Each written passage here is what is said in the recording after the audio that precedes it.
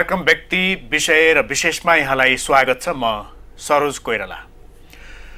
दर्शकवृन्द पछिल्लो समय बाढी पहिरोले देश आक्रान्त छ। धेरै मानिसहरू यसबाट प्रभावित भए विशेष गरेर तराई मधेसका जनताहरू र पहाडका जनता पनि पहिरोबाट प्रभावित भए र त्यहाँ खलबलिएको जलाधारको कारण पनि प्रभावित भए। अहिले पछिल्लो समयमा तराईमा विभिन्न समस्या देखिएको छ। विशेष गरेर त्यहाँको वातावरण बिग्रिएको छ त्यहाँ जमेको पानी दुर्गन्धित हुन थालेको छ धेरै मानिसहरू बिरामी परेका छन्।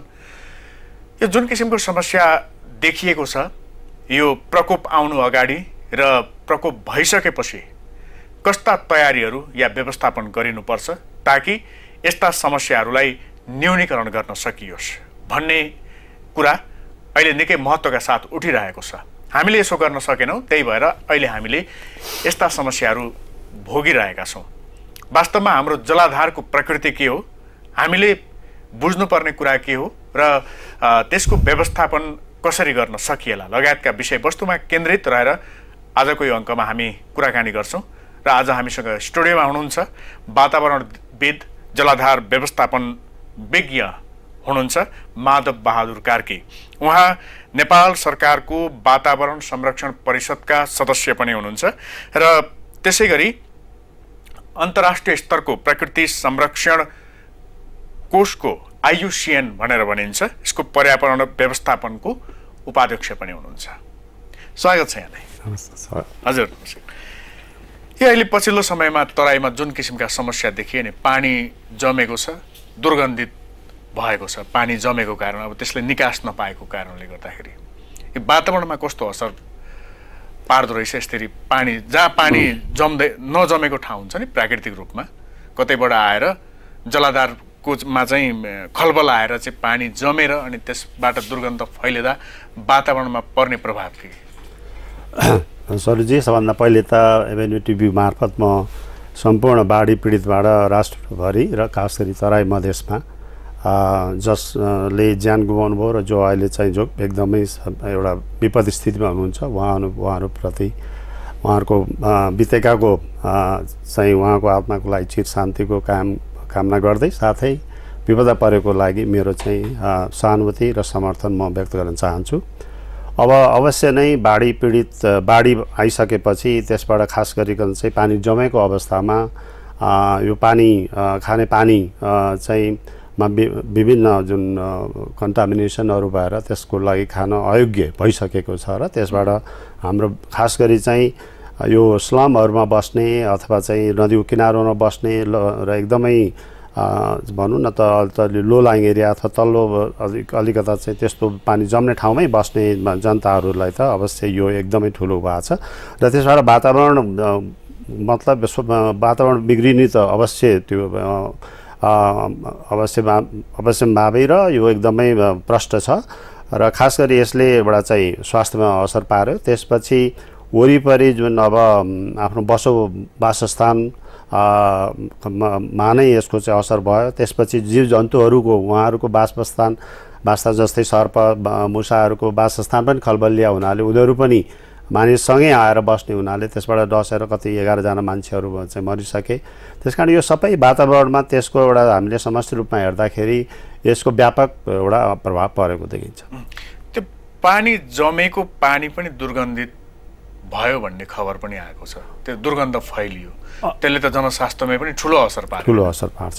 अब यो जब बाढी आउँछ त्यसले माथिल्लो जुन भनौँ न अब हामीले चाहिँ यदि यो वाटर सेडको कुरा लिउने एउटा चाहिँ जलधारको कुरा लिने हो भने माथिल्लो चाहिँ जुन हाम्रो स्तरमा जुन मान्छेहरू बसेका हुन्छन् माथिल्लो स्लोपमा त्यहाँबाट हुने सबै फोहोरहरू पनि पानीले ल्याइहाल्छ। ल्याएपछि जम्ने ठाउँमा खास गरी तराईमा पानी जम्ने चाहिँ समस्याहरू धेरै हाम्रा इम्ब्याङ्कहरू बनेका छन्। त्यसले गर्दा पनि समस्या भएको हुनाले पानी केही दिन जमिसकेपछि त्यसमा प्लास्टिक त्यसमा साथै जति पनि अब हाम्रा चाहिँ मानवबाट सिर्जित दुर् चाहिँ उहरू छन् भनौँ न हाम्रा फोहोर मैलाहरू जम्मने भयो। त्यसले गर्दाखेरि चाहिँ दुर्गन्धित भयो। त्यसले चाहिँ खाने पानी पनि वास्तवमा कति जनताहरू त त्यही पानी खान बाध्य भएका छन् जस्तै नेपालगञ्जकै अहिले कोवलपुरको कुरा लिउँ।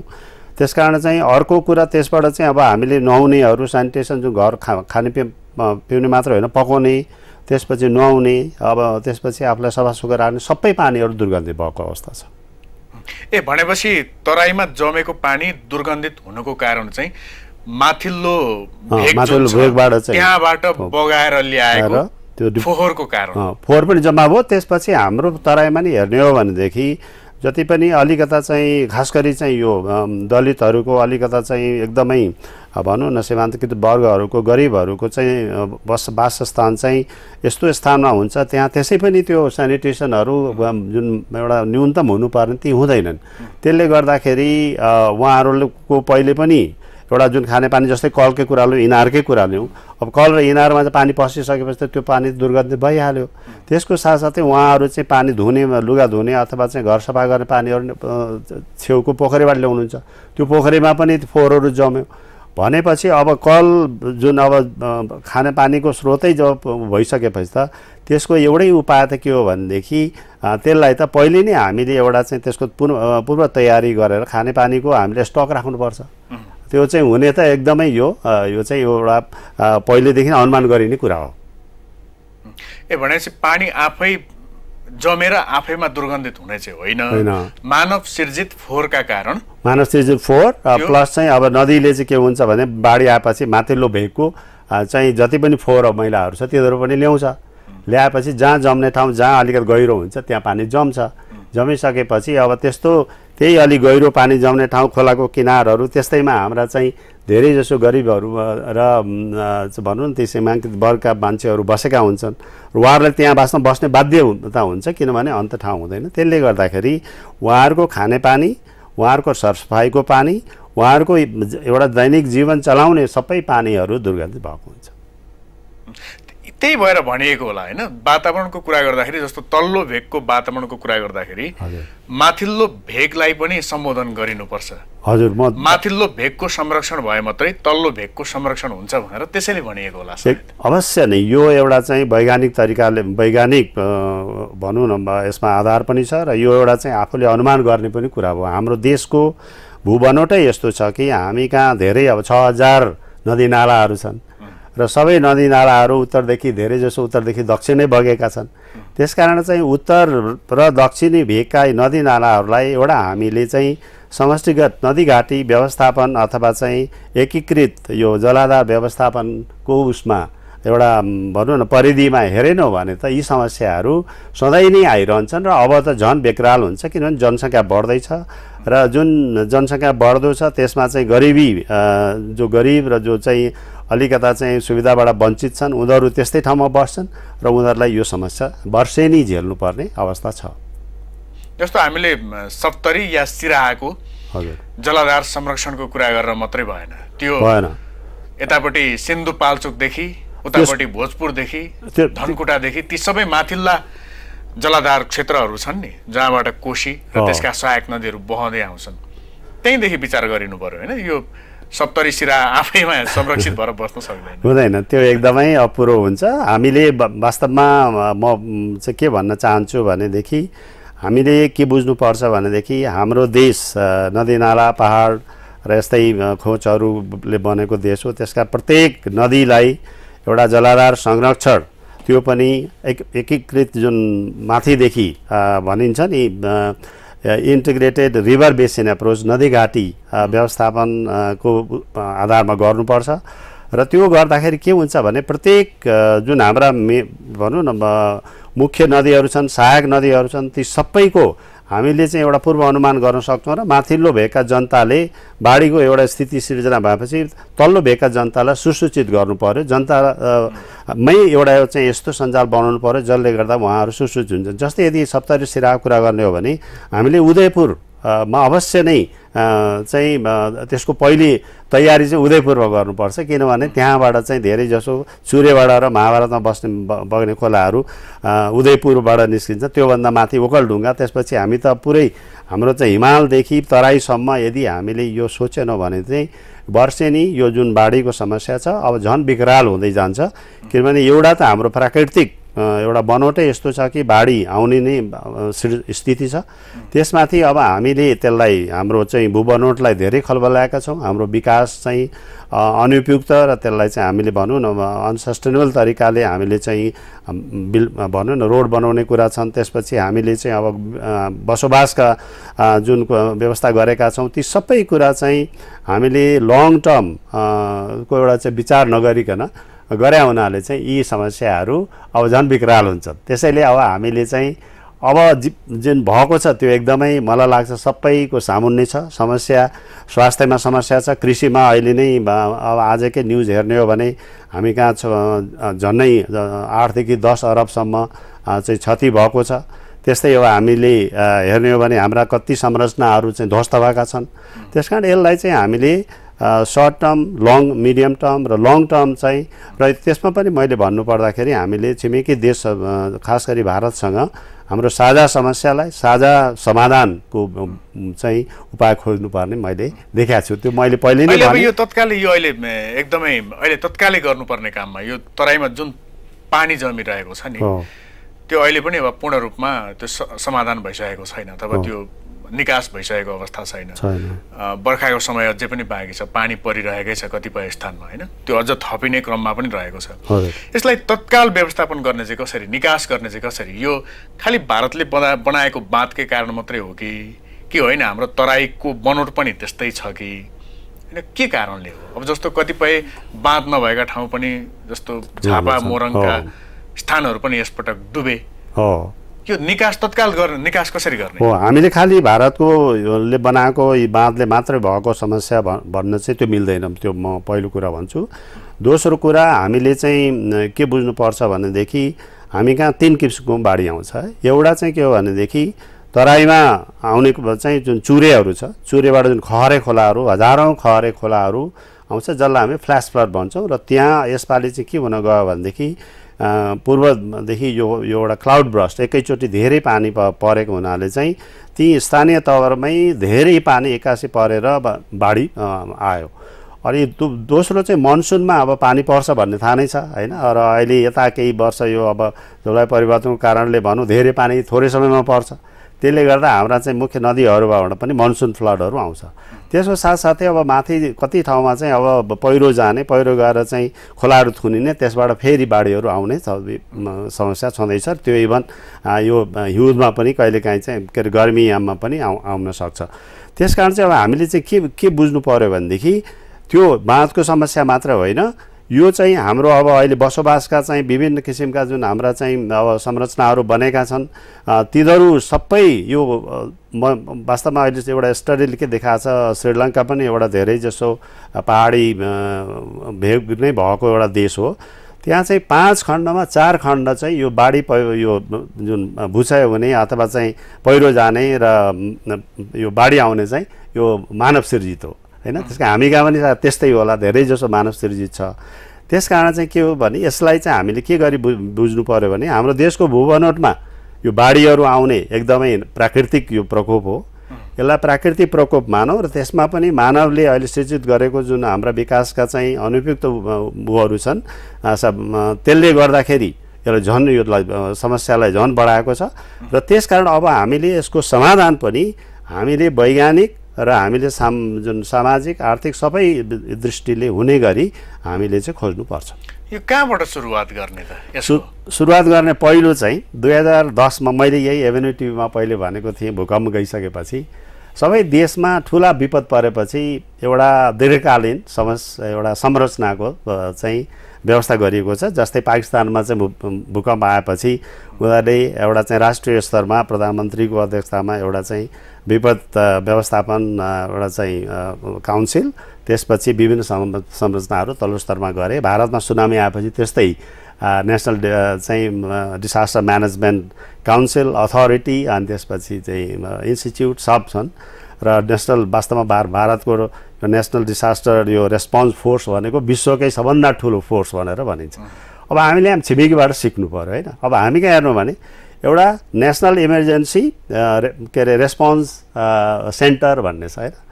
अर्को चाहिँ नेचुरल डिसास्टर रिलिफ कमिटी भन्ने छ त्यो चाहिँ central national disaster relief committee हाम्रो चाहिँ गृह मन्त्रालय अन्तर्गत छ।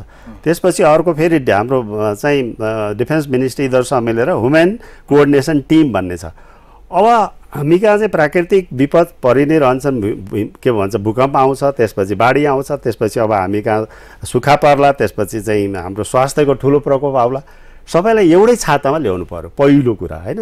त्यो कसरी ल्याउनु पर्यो भने यस्ता सङ्गठनहरू अथवा रहेका निकायहरू एउटा बढीको रूपमा आउनु पर्यो आउनु पर्यो त्यो पनि प्रधानमन्त्रीको उसको प्रधानमन्त्री अफिसको प्रधानमन्त्रीको अध्यक्षतामा एउटा नेसनल डिसास्टर म्यानेजमेन्ट काउन्सिल बन्नु पर्यो जसमा सबै मन्त्रालयहरू चाहिँ आउनु पर्यो किनभने यो हामीले अहिलेसम्म के हेरिरहेछौँ भनेदेखि यो पिप- विपद भनेको पहिले रेस्क्यु गर्ने त्यसपछि रिलिफ गर्ने अनि त्यसपछि अलिअलि रिकन्स्ट्रक्सन गर्ने। तर सबभन्दा यसको चाहिँ मुख्य पाटो त प्रिपेयर्डनेस गर्ने। बङ्गलादेशलाई हेर्नु हो भनेदेखि उनीहरू एक महिना पहिलेदेखि अब बाढी आउँछ भनेर जब त्यहाँ चाहिँ पचहत्तर पर्सेन्ट देश डुबानमा पर्छ उनीहरू तयारी गरेका हुन्छन्। जनताहरू त्यही किसिमले चाहिँ अहिले चाहिँ तयारी अवस्थामा बस्छन्। र अरू देशमा पनि यस्तो अवस्था छ र हाम्रो पूर्व अनुमान जुन अब बिस्तारै सुधार भइरहेछ जब चाहिँ हाम्रो हाइड्रोमेट्रोलोजी डिपार्टमेन्टले पूर्व अनुमान दिइसक्छ बाढी आउँछ यसपालि जस्तै पन्ध्र अगस्तमा दियो। तर चाहिँ त्यो हुनासाथ सबै बरुहरू चाहिँ त्यहाँ गएर स्टक पानीको अहिले सबै स्टक हामीले त्यहाँ राखिदिया भए एउटा आर्टिफिसियल ट्याङ्की माथि राखिदिया भए जहाँ जहाँ चाहिँ हुन्छ त्यहाँबाट मान्छेले खाने पानी त पाउँथे होइन? त्यो हामी एक महिना पहिले गर्न सक्थ्यौँ नि। प्लास्टिकको प्या चाहिँ ट्याङ्की बनाएर राखिदिने होइन? अनि त्यस्तै अब त्यसपछि हामीले यी पानीका बोतलहरू रेडी टु इट फुड फुडहरू ठुलो स्टकमा राख्नुपर्छ। किनभने बाढी आउँछ भने हामीलाई थाहा छ र जब चाहिँ बाढी आउँछ जब त्यो हाम्रो चाहिँ अलि लो लाइङ एरियामा तल्लो स्तरमा बस्ने मान्छे ती मान्छेहरू गरिबहरू चाहिँ यस- यस्तो अवस्थामा पुग्छन् भन्ने भयो। भनेपछि पहिले यो संरचना हामीले प्रिपेयर्डनेस तयारीदेखि अब हामी फेरि रिलिफ अनि त्यसपछि रेस्क्यु रिलिफ र एउटा चाहिँ रे रिकन्स्ट्रक्सन अथवा रिहेबिलिटेसन मात्र नभएर लङ टर्म प्रिपेयर्डनेस गर्नु पर्यो। त्यस कारण दोस्रोलाई बाढीले त्यो देखायो हो, त्यो आवश्यक छ जुन भने, देखायो। होइन? त्यस- यसअघि चाहिँ जस्तो दुई तिनवटा जिल्ला अथवा केही स्थानमा बाढी या डुबान पर्थ्यो। हजुर। त्यति धेरै ध्यान गएन होला त्यो भएकोले। अहिले त अब पूर्वदेखि पश्चिमसम्म जहीँ तहीँ बाढी डुबान। पैँतिसवटा जिल्ला अहिले प्रभावित छन् भनौँ न। त्यस कारण चाहिँ अब यसबाट के देखियो भनेदेखि पहिले पहिले भन्दा अहिलेको अब बाढीको जुन प्रकोप छ त्यो झन् गम्भीर भन्ने गयो यसमा हामीले चाहिँ विभिन्न कारणहरू यसमा जोड्न सक्छौँ। एउटा हामी प्राकृतिक कारण छ जुन नेपालको चाहिँ भूबनोटबाटै त्यो चाहिँ प्रष्ट हुन्छ। दोस्रो अब ज हामीले जुन मानव जुन जनसङ्ख्या बढो र हामीले विकासको लागि विभिन्न संरचनाहरू विभिन्न इन्टरभेन्सनहरू गऱ्यौँ त्यसबाट त्यसमा झन् बाढी आउने स्थिति पै पैदा भयो। किनभने जब पानीको पानीभित्र सिल्ट र ग्राभेलहरू चाहिँ बढी बढ्छ त्यसले चाहिँ जुन डिस्ट्रक्सन गर्ने त्यसले चाहिँ भनौँ न अब जस्तै बालीनाली हाम्रा चाहिँ खेतहरूलाई डिस्टर्ब गर्ने त्यसको क्षमता झन् बढ्छ। अनि त्यसपछि चाहिँ हामीले चाहिँ के गर्नु पर्यो भनेदेखि अनि त्यो अब आउ आउने जुन बाढी चाहिँ आउने चाहिँ अब चाहिँ बढी छ भन्ने साथ अब हामीले जस्तै अहिले तराईमा चाहिँ भनौँ कृषि मन्त्रालयले अब ग्रेन स्टोरेज बनाउने त्यसपछि आएर अब अब सिड ब्याङ्कहरू बनाउने अनि त्यसपछि आएर चाहिँ अब अब भनौँ न मान्छेहरूलाई चाहिँ अब लगाएको खेती त बिग्रियो होइन? त्यस कारण तुरन्तै लगाउने व्यवस्था गरिदिनु पऱ्यो नि। या त उनीहरूको चाहिँ उनीहरूलाई बिउको प्रोभिजन गर्नु पऱ्यो अथवा अन्तबाट चाहिँ अब कुन बाली हुनसक्छ त्यो बालीको रोप्ने चाहिँ व्यवस्था चाहिँ गर्नु पऱ्यो त्यस कारण चाहिँ हामीले चाहिँ के गर्नु पऱ्यो भनेदेखि preparedness rescue relief reconstruction rehabilitation र लङ टर्म एउटा प्लान हुनु पर्यो र त्यसको लागि एक महिना पहिले नै बाढी आउनुभन्दा पहिले जुन जुन एरियामा बढी बाढी आउने सम्भावना छ जहाँ पूर्व अनुमान पहिले नै गरिएको हुन्छ त्यो ठाउँमा हामीले स्वास्थ्य त्यसपछि कृषि त्यसपछि बसोबासको निम्ति सबै व्यवस्था मिलाउनु पर्छ र मेरो विचारमा जस्तै अहिले भनौँ न हामीले यदि ठुला ठुला ठाउँमा पहिले नै क्याम्प बनाएर जहाँनिर बाढी पुग्दैन त्यस्तै भनौँ न जहाँ इम्ब्याङ्कमेन्ट बनाएको छ त्यो माथि चाहिँ क्याम्पहरू राखेर त्यहाँ एटलिस्ट मानव बस्ने उचित व्यवस्था मिलायो भनेदेखि अहिले सर्पले डसेर मर्ने अथवा मान्छे खान नपाएर बसिरहेको यो अवस्था त आउँदैन थियो नि तपाईँले भने जस्तै एउटा एकीकृत त्यस्तो प्राधिकरण या संस्था नभए। पनि अहिले विभिन्न निकायहरू त छन् नि विभिन्न। मन्त्रालयको मातहतमा होइन। जस्तो दैवी प्रकोप उद्धार समिति। समिति छ गृह मन्त्रालय अन्तर्गत अन्य अन्य पनि छन्। त्यसै गरी अब स्वयं यहाँ नेपाल सरकारको वातावरण संरक्षण परिषदको सदस्य हुनुहुन्छ। त्यसले एउटा चाहिँ समग्र रूपमा वातावरण संरक्षण कसरी गर्ने भन्ने कुरा हेर्ला। यी विभिन्न निकायहरू छन् नि अहिले यी निकायहरू चाहिँ के गरिरहेका छन् के गरेर बसिरहेका छन् यिनको पनि आफ्नो आफ्नो काम त परिभाषित छ। तर अहिले हेर्ने हो भने यो विपद आइसकेपछि मानिसहरू खान नपाएर चाहिँ बिचल्ली छ बिरामी भइरहेका छन् पानीको निकास अहिलेसम्म हुन सकेको छैन। यिनको पनि परिभाषित त होला नि। कि यो अब निकाय गठन गर्ने जागिर खाने कि त्यस्तै मात्रै छ अहिले? यी सबै निकायहरूको एउटा चाहिँ निश्चित कार्यक्षेत्र छ। यी निकायहरूले केही काम गरून् भनेरै यसलाई राखिएको हो। तर एउटा चाहिँ समस्या के छ भनेदेखि यी निकायहरू प्रभावकारी छैनन् र दोस्रो कुरा यी निकायहरूमा समन्वयताको कमी छ। र समन्वयता सहकार्य र चाहिँ यिनीहरूको प्रभावकारिता भएन भने निकायहरू भउनु र नहुनुमा केही फरक हुँदैन होइन? जस्तै म नै वातावरण आ, प- सु- सँगसँगै परिषदको चाहिँ विज्ञ सदस्य छु हाम्रो चाहिँ अहिलेसम्म एउटा मिटिङ भएको छैन होइन? त्यस कारण चाहिँ त्यस्तै बस्दैन। बस बस। यसमा एउटै समस्या छ म अब हाम्रा चाहिँ आदरणीय नेताहरूसँग पनि एउटा विनम्र अनुरोध के गर्दछु भनेदेखि यसलाई एउटा पोलिटिकल कमिटमेन्ट पनि पर्यो। सबै पार्टिजहरूको कि यो राष्ट्रिय विपद व्यवस्थापन कुनै पनि हामीले सरकारलाई यो गर्नै पर्ने कुरा हुन्छ त्यस कारण यसमा सबैको एउटा चाहिँ भएर एउटा नीति जसलाई जुन जुन अहिले हामीले भूकम्पपछिको त्यत्रो छलफलपछि एउटा बनायौँ तर त्यो अधुरो रह्यो। किन जस्तै त्यसलाई हामीले खालि भूकम्प को विपद व्यवस्थापन ऊ बनायौँ होइन? जस्तै परिषद बनायौँ।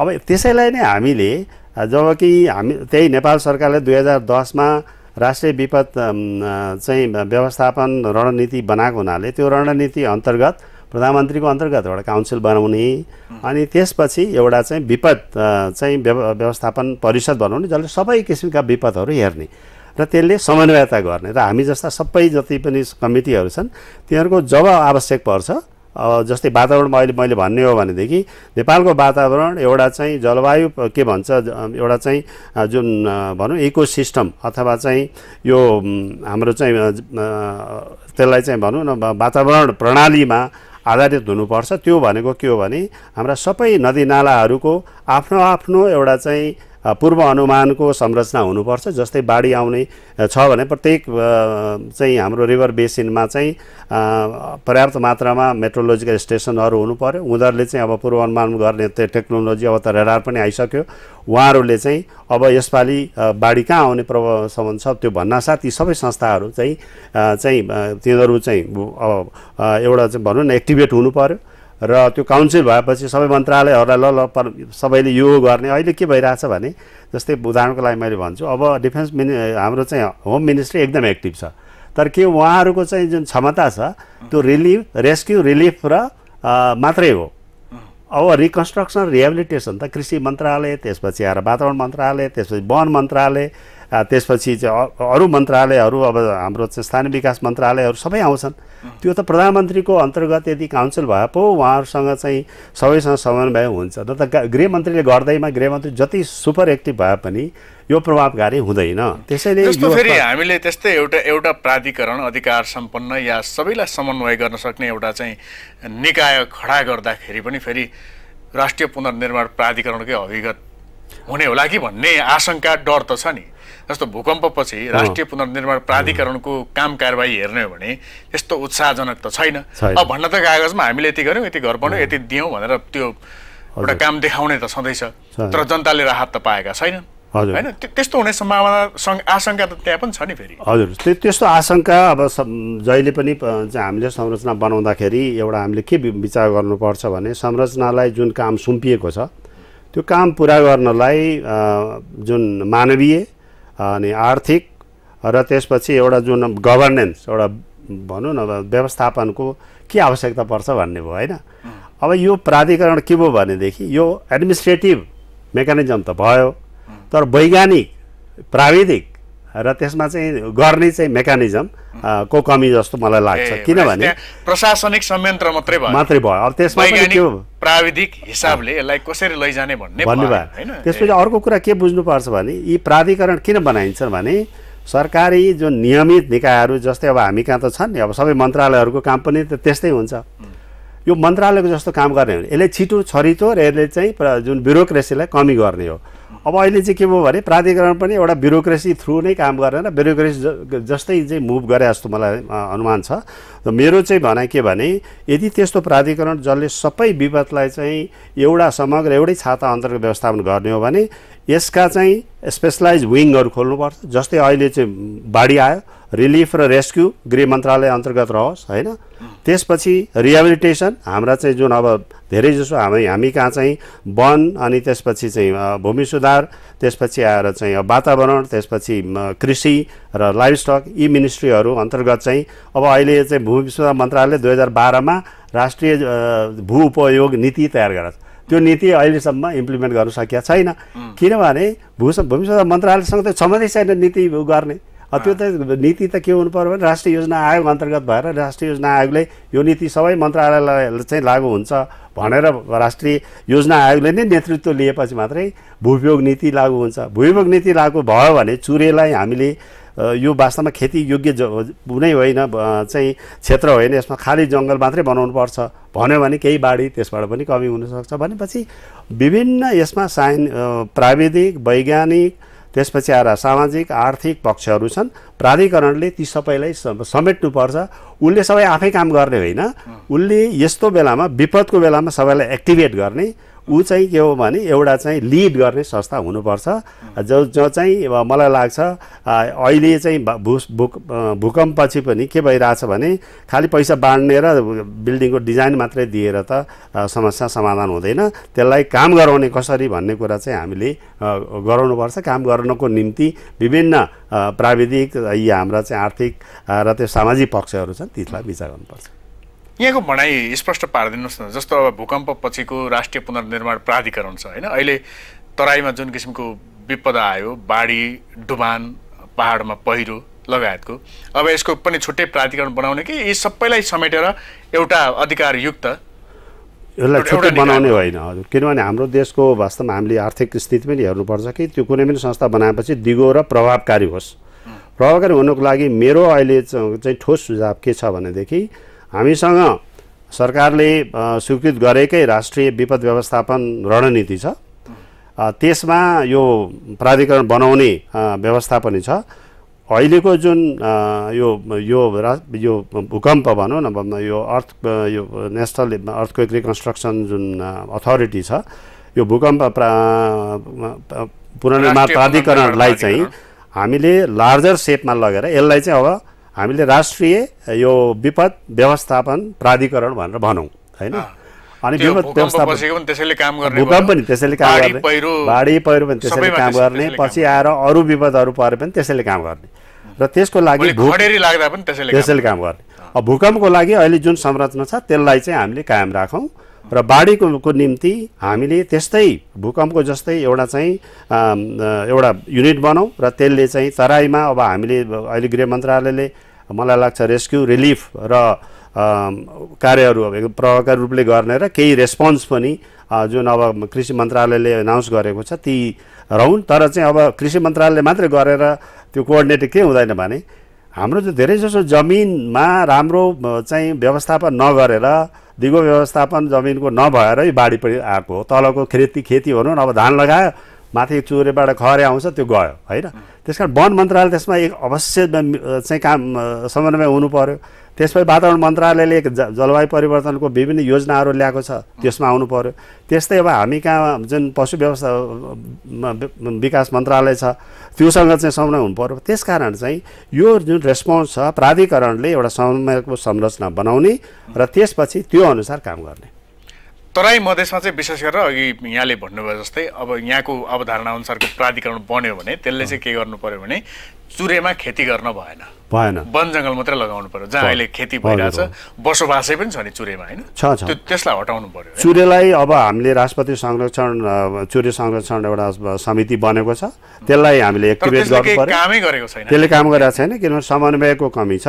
र त्यो काम गर्नको निम्ति एउटा चाहिँ अहिले अवधारणा यो एउटा चाहिँ के सस्टेनेबल दिगो भू व्यवस्थापन चाहिँ एउटा चाहिँ नीति ल्याउनु पर्यो। त्यो नीति अनु अन्तर्गत चाहिँ चुरे क्षेत्रमा चुरेको खास गरी पहाडी क्षेत्रमा खेती गर्नु भएन। त्यहाँ चाहिँ विभिन्न अन्य उपायहरू जस्तै अब हामीले अमरिसो घाँस लगायो भने मात्रै त्यसबाट यति आम्दानी हुन्छ होइन? त्यसले चाहिँ खेतीभन्दा बढी आम आम्दानी दिन सक्छ। त्यस कारण हामीसँग अल्टरनेट जुन वैकल्पिक उपायहरू प्रशस्त छन् भावर एरियामा पनि हामीले खास गरी चाहिँ पशुपालनमा बढी जोड दिनु पऱ्यो त्यहाँ खेती जहाँ हुनसक्छ त्यहाँ पानी लाई स्टोरेज गर्ने विभिन्न किसिमका चाहिँ बनाउनु पऱ्यो र जङ्गल राख्नु पऱ्यो किनभने जसले गर्दाखेरि पहिलो परेको पानी त्यहीँ नै सोसियोस् अनि त्यसपछि तराईमा चुरेर तराईका हाम्रो दक्षिणी भेगलाई जोड्नु पऱ्यो प्रत्येक नदीमा एउटा चाहिँ हामीले न river integrated river basin approach गरेर वाटर सेड म्यानेजमेन्ट गर्नु पऱ्यो हस् यहाँलाई धेरै धन्यवाद। हस् मलाई मौका दिनु धेरै धेरै धन्यवाद र दर्शकहरूलाई मैले भनेको कुरा सायद केही उपयोगी भयो होला। भन्ने सम्झाउ धेरै धन्यवाद हस् धन्यवाद हस् दर्शक हामीसँग हुनुहुन्थ्यो वातावरणविद तथा जलाधार व्यवस्थापन विज्ञ माधव बहादुर कार्की उहाँ नेपाल सरकारको वातावरण संरक्षण परिषदका सदस्य पनि हुनुहुन्छ उहाँसँगको यो कुराकानीसँगै कार्यक्रम व्यक्ति विषय र विशेषको आजको लागि समय सकिएको छ खबरभित्रको खबरको लागि हेर्दै रहनुहोला एभिन्युज खबर नमस्कार